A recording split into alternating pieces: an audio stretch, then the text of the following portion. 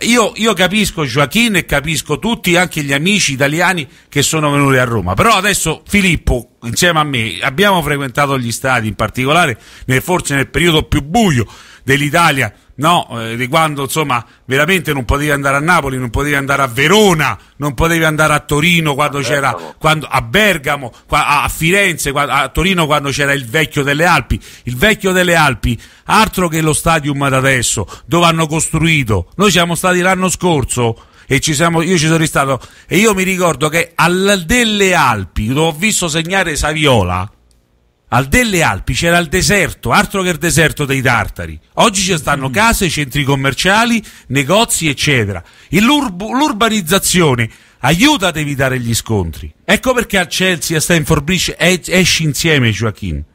All'Olimpico non c'hai niente. È lì che si creano i, i grandi problemi. E poi è sbagliato la polizia come ci ha trattato. Questa sensazione qua, questa sensazione qua che dici tutto questo spazio, dici, ma cioè, ne stiamo passando, stiamo, stiamo passando dalla curva nord, diciamo, cioè, tutto questo spazio comunque è dispersivo, comunque è pericoloso secondo me, come dici tu, sì, sono d'accordo, sono d'accordo. Allora, eh, allora... Come fare, fare due chilometri a piedi per arrivare allo stadio, secondo me già questo pure è pericoloso. Non, non dai l'opportunità di arrivare già fuori, fuori allo stadio. Vabbè. Va bene, va bene ragazzi, dobbiamo, io vi ringrazio, abbiamo sforato, eh, ma adesso dobbiamo chiamare anche altre persone. Eh, va bene. Io, io, vi ringrazio, vi mando un grande abbraccio, è il momento insomma, di, di, essere, di essere, uniti più che mai, non è, il, non è il momento non è il momento. Eh, me, cioè, mm, cioè, su, questo, su, questo, i romanisti sono fenomenali, ragazzi. Eh, io dobbiamo prendere anche esempio che la Roma non si discute, si ama e in questo momento noi non dobbiamo discutere internamente perché si sta aspettando che il barcelonismo si divida. Si sta aspettando che il barcelonismo si divida. Ma che cosa ci dobbiamo dividere come come, come, Meleri, come Giovanni ci scriveva prima, ci dobbiamo dividere a, un, a, una settimana dalla finale di Coppa e con 17 punti da Real Madrid, quanti ne abbiamo dati? Eh, insomma, no. me, se, eh, se, ho capito, siamo usciti dalla Champions, è un fracasso della Champions, ho capito. E allora il Barça, quante, poi anche il ragionamento è però tu nel, nel momento che c'è il più forte giocatore del mondo di tutti i tempi hai vinto solo eh, ma il Barça non, ah, allora ha vinto in c- 63 edizioni della Coppa Campioni Champions League per 58 volte ne ha vinta. E allora che fa se devo, se devo mettere tutti una pistola in bocca e spararsi? Eh. Cioè, le statistiche, le statistiche non si fanno così. Eh. Eh, infatti sì. allora il Napoli che doveva fare? Doveva vincere tutto quando c'era Maradona. Eh, eh, Massi, eh, Massi, scusate, eh. Massi, abbiate pazienza. Diceva l'altro giorno, nella trasmissione eh, precedente, domenica, quando c'era il presidente Tony Freire, diceva Tony che dice, il problema è dice, che ci siamo male abituati, che pensiamo che si, vince, si deve vincere sempre, non è così. L'hashtag tifoso occasionale serve anche a far capire che forse e utilizzo un, una teoria di Vittorio Pegone che salutiamo perché ci sta ascoltando eh, ciao, forse, forse, non vincere allontana anche i tifosi occasionali eh? e io da questo punto di vista sono contento perché ho visto ho il mio primo Barça che vedevo dal vivo non ha per cinque anni non ha mai vinto nulla eh? quindi e c'aveva giocatori, e c'aveva giocatori scandalosi come Coco Cristanval, Bonanno, Rochenbach, Giovanni e posso continuare in eternis, come dicono i latini. Eh. Quindi, va bene ragazzi, un forte abbraccio a tutte e due, mi raccomando. Ragazzi, grazie di tutto ancora. Un abbraccio, grazie a voi. Un abbraccio a Gio e un abbraccio a Alberto. Ciao ragazzi. Ciao, ciao, ragazzi. ciao, Petiso. Ciao, ciao, Petiso. Ciao. Ciao. sempre. Allora, ormai sono saltati, io sapevo che questa puntata non riusciamo a tenerli, Gioachino. Ci sono tante cose che dobbiamo andare a leggere, dobbiamo chiamare tanti altri nostri amici. Allora, dobbiamo, cominciamo. Dobbiamo chiamare pure? Dobbiamo chiamare tante persone, dobbiamo chiamare Albert Parera Puic, dobbiamo chiamare Giusi, dobbiamo sentire l'audio di Valeria, dobbiamo chiamare Sergio Lonetti, Pietro Locatelli. Mm. E va bene, allora eh, cominciamo. Alessandro Esposito, errore nella pianificazione sportiva, poca duttilità di Valverde, messi dipendenza, esclusione della cantera. Speriamo finisca presto questa stagione e senza ulteriori sorprese.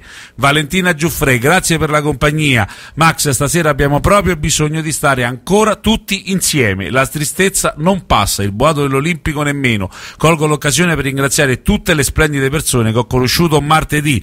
Salutiamo Milena Schiavi Roverio della, della, ehm, ehm, della, della Pegna di Torino e scrive altra vergogna il taxi. La polizia ci ha mandato a cercare uno oltre il ponte della musica. C'erano dei ragazzi spagnoli il tassista gli stava dicendo che per portarli voleva 50 euro e il, che il tassametro non si metteva dall'Olimpico. L'ho fatto presente alla polizia che era a pochi metri e, e mi hanno risposto abbiamo le mani legate siamo in Italia. Io ho risposto Italia la, la fate anche voi la polizia sarebbe potuta intervenire. Bravissima brava brava Milena lo stesso, questo è il lo problema. stesso, lo stesso che dicevo io. questo è il problema vero, questo è il problema vero. Allora, questi sono i problemi, questa è la cosa. E, e il problema è stata che la polizia intanto non doveva tenerci due, due ore, ma molto di meno. In più do- poteva evacuare le persone che stavano ancora eh, sotto lo stadio, anche pacificamente. Non c'è bisogno di picchiare, perché la polizia italiana, un po' No. quella spagnola, ama picchiare. E magari i tifosi della Roma che stavano semplicemente festeggiando e liberarci il prima, il prima possibile anche per evitare, per evitare questo. E, e questa la, la- la testimonianza, la testimonianza, ripeto, sta di fatto che purtroppo, purtroppo in questo paese andare a vedere una partita di calcio è andare in guerra. Questo significa. Esattamente. Questo significa. Il e, problema, quando, esatto. e, e- e- e purtroppo non pensiamo che a Torino le cose siano state differenti lo scorso anno. Lo scorso anno a Torino le cose sono state differenti per u- due motivi molto semplici. Il primo, perché la, maggio- la grandissima maggioranza era venuta con l'opzione del pullman da Barcellona. È vero Joaquin? Eh, giusto, eh, quella era l'opzione che ho fatto io. altri con la- l'aereo e quindi sono stati trasportati col pullman Con- all'aeroporto, con pullman, con all'aeroporto. Il resto, che erano molto di meno di quelli che c'erano a Roma, Roma, esatto. sono potuti andare dopo 40-50 minuti siamo stati a Torino lo scorso Eh, anno. forse eh. un'ora direi- Forse direi un'ora, un'ora, bravo sì, sì, Gioacchino, sì, sì, 50 minuti a sette- a- a- nella Lighiglia. E, la- il, il vantaggio è che c'era un posto, ti ricordi che c'era un posto di cibo che si poteva, si poteva Perché? mangiare? Ma c'era Sì. urbanizzazione. Sì, un, un unico posto di cibo per si poteva com- come minimo comprare, comprare un po' di cibo, un po' di acqua, e, un po' di... e e c'era, c'è, urbani- c'è urbanizzazione. Mm. Tu ti devi immaginare che nel, stiamo parlando del 2000, Mm. 2000 ma anche eh, delle Alpi è del 1990 per i mondiali. Quindi immagini dal 1990 a più o meno, io me lo ricordo nel 2000, nel 2002, non c'era nulla intorno a delle Alpi. Come a Wembley. Come a Wembley che adesso c'era nulla e adesso è tutto Ah, a lì. Wembley nel 92 non c'era nulla, Io, adesso c'è... io non, ricordo, non ricordo a chi ho detto in questi giorni l'Olimpico. Ho detto, guarda, sei stato un- un- sicuramente un amico catalano che è venuto di questi che ho incontrato in questi giorni. Io ho detto, sei stato a Berlino alla finale? Sì, bene, l'Olimpico è come Berlino. Cioè è come lo stadio olimpico di Berlino, cioè non c'è nulla intorno. Intorno. Sono stati degli anni 30 fatti dalle dittature fasciste e quindi di conseguenza intorno facevano tutte queste cose, de- de- de- diciamo, noi la qui viene chiamata il foro italico. Foro Italico, no? l'Università dello Sport, Esattamente, eh, esattamente, esattamente. Va bene, andiamo perché veramente abbiamo sforato tutti i tempi. Sentiamo la testimonianza di Valeria Questa e poi rientriamo con i nostri altri ospiti. Ciao Max, ciao Alberto e ciao a tutti i ragazzi, tutti i tifosi culé. Eh, niente, purtroppo stasera avrei tanto voluto essere in radio con voi, ma per eh, problemi qui non riesco, sono via, quindi non riesco. Però grazie a te Max che mi dai la possibilità di mandare questo audio.